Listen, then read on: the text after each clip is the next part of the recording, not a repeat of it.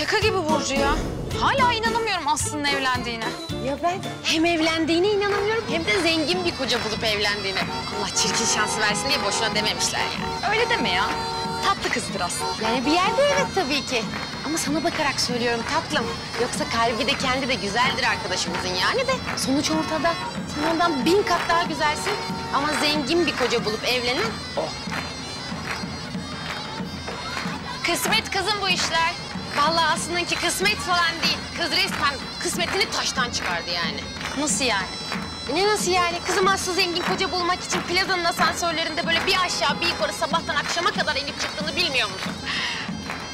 İyi o zaman. Ben de zengin koca bulmak için AVM'nin yürüyen merdivenlerini zorlayayım. Sen geç dalganı. Sen evinde otur tatlım, beyaz atlı prensini bekle. Evlenince de artık çocuklarına aşk çorbası pişirirsin. Hadi çok kaynattık boş ver. Erol abi hadi bitir şu balyajları. Hadi daha düğüne gidip göbek atacağız.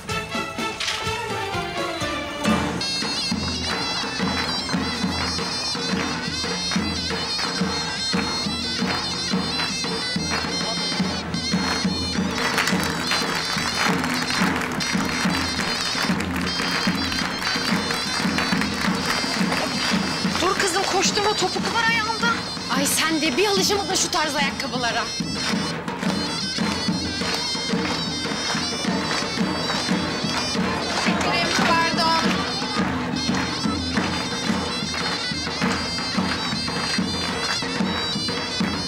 Vallahi Aslı akıllı kızmış. Kalktı bir zengin adamı kurtardı hayatını. Sen ne yapıyordun Burcu kızım? Çamaşırcı mıydın? Neydin bir otelde? Bohçacıyım ben bohçacı. Huriye teyze. Çarşaflarım var, e, örtülerim var. Vereyim mi sana da bir kefen bezi? Terbiyesiz. Tuh suratına söylediği lafa bak. Ama Huriye teyze sen de kaşındın yani.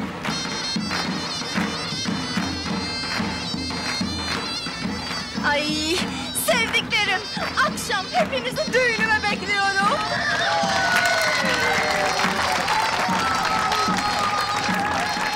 Aşkım hadi gidelim. Hadi gidelim. Ay çiçeği fırlatmayı unuttum. Ay ne olur ne olmaz birilerin şansı mansı döner de evde kalmışları kısmeti açılır. Bu bize mi laf geçirdi kız? Ee ne demişler?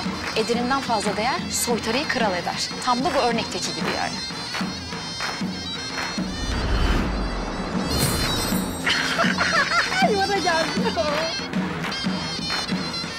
Huriye teyze ver şu çiçeği ya.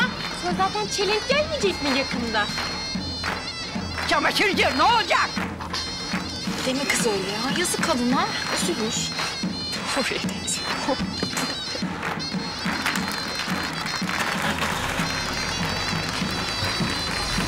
Evde kalanlaraymış bu çiçek. Gördün değil mi nasıl alay etti bizle? Sen daha otur bu mahallede otur. Doğru diyorsun. Roma'daki dedemler de beni yanlarına aldırmak istiyordu. Ama ben daha egzotik deyip bu mahallede oturmayı tercih ediyorum. Kızım, Bodrum var, Bodrum ya. Ortalık var ya kımıl kımıl genç, yakışıklı ve altına çiziyorum zengin koca adaylarıyla dolu. Gel şu endamınla beachlerde böyle bir salın. Senden yansı yanlışlıkla ben bile zengin koca bulurum. Hadi bana göre değil kızım bu işler. Gidelim.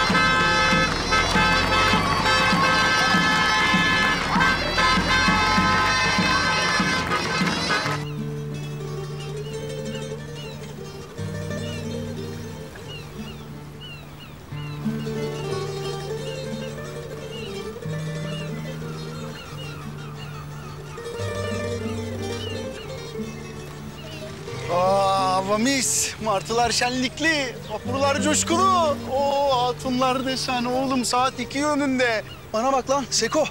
Şş, ayarlayalım mı oğlum bunları? Bak konuş da gider konuşurum ben. Şu anda yaparım bunu. Alo. Ha Ha değil. Efendim diyeceksin. Cenk kardeşim konuşuyor. Onu ben bir dinleyeyim diyeceksin ya. Karabatak gibi dalmışsın abi ya.